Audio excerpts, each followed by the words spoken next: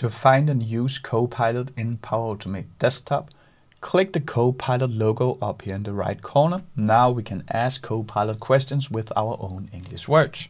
For example, how to open a website, do a search and web scrape the table-based results to Excel.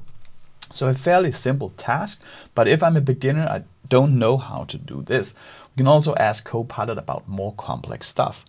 Now we get a step-by-step -step guide to create it. Currently this is in preview, so you'll need to do this yourself. And this is not where the strength in Copilot Power Automate Desktop lies at the moment. Let me show you how powerful it is. Because I prepared another flow. And this is just a flow with three set variables at the moment. A project path that links to a project folder on my desktop. We will take a look at it in a moment. And also two variables, Excel1 and Excel2. That will be the two Excel books that we want to automate. Let me show you. So the project folder is at my desktop. I will have the Excel1 and let me also open up Excel2. So what I want to do here is that I want to compare these two. I want to find the unique rows to merge these and then I want to output them to a third Excel book. Fairly easy because we only have three records in each table, but imagine this was a larger data set that we want to automate. Let's use Copilot for this and this is extremely powerful because Copilot is exceptional in the scripting part. And here to find that, you'll need to go to scripting and here you can see the different scripting methods. We can use Python, JavaScript or even .NET. Copilot works in the five uh, first ones. That is everything except the .NET. I'm sure the .NET will work in the future. What works extremely well in Power Automate Desktop, that is the Run VB script. VB script is Visual Basic Script. It works extremely well with Excel and other Office applications. You'll often use it as an RPA developer, but then you need to write the code. With Copilot, we can just generate it.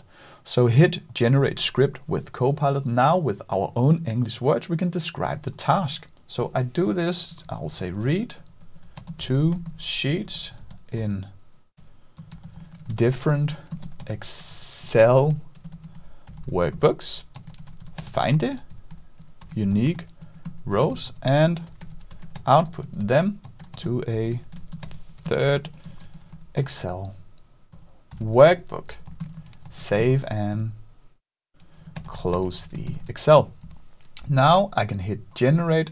Copilot will take anywhere between 10 and 30 seconds to generate a working script. Now I don't have to do anything more.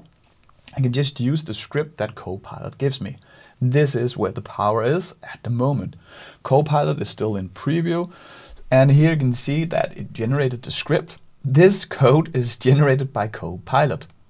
Let's say that I am uh, satisfied with this, then I can say use this script and it will get inserted in my VB script.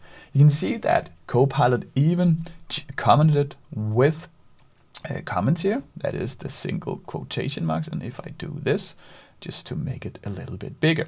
Here is my script, and what I need to do here is that I need to um, change this one here, that is the path to the first Excel, and we created that here in the Excel one, so I simply just mark it. I hit the X up here in the variable picker, I double click the Excel one and now my variable got inserted into the script. I do the same thing here with the second one. So I just do this. And then for the third uh, workbook, I also need to save it. That one will be down here. So what you just need to look for is these placeholders like C path to workbook 3. And here, let's say I want to save it in my project path. I do this and it will be called workbook 3. We can call it result, for example. So this is all you need to do. Just uh, put in, fill in the placeholders and this code is generated with your own words. I can hit save, then I can click run. This will take like five seconds. Then uh, we have a result And if I go back to the project folder, you can see we now have this result.xlsx with the unique rows. This is how efficient Copilot is. If you want to set this up yourself, that is set up Copilot in Power Automate Desktop, I created a complete guide that will create environments, the preview, install, and everything. Just watch this video up here.